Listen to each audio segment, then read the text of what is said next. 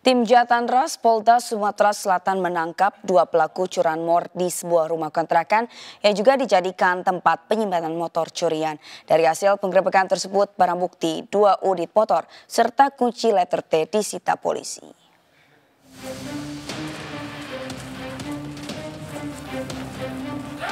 Setelah mendapat informasi tentang keberadaan dua pelaku curanmor, tim Ras Polda Sumatera Selatan langsung bergerak cepat.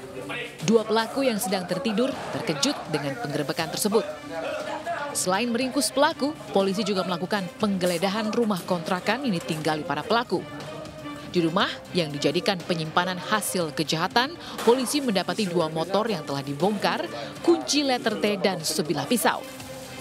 Dalam pencarian barang bukti, seorang pelaku terpaksa dilumpuhkan karena melawan petugas dan berusaha untuk kabur. Dari pengakuan para pelaku yang tinggal di rumah kontrakan adalah temannya yang diketahui sebagai gembong curanmor. Saat itu temannya sedang pergi dan mereka biasa main bahkan tidur dalam rumah itu. Kendaraan bermotor yaitu uh, apa? Uh, kunci letter T yang mereka uh, gunakan untuk melakukan atau memobol kendaraan bermotor tadi. Polisi masih mencari keberadaan motor hasil curian lainnya yang diduga disembunyikan para pelaku di tempat lain. Dari Palembang, Sumatera Selatan, Firdaus, iNews melaporkan.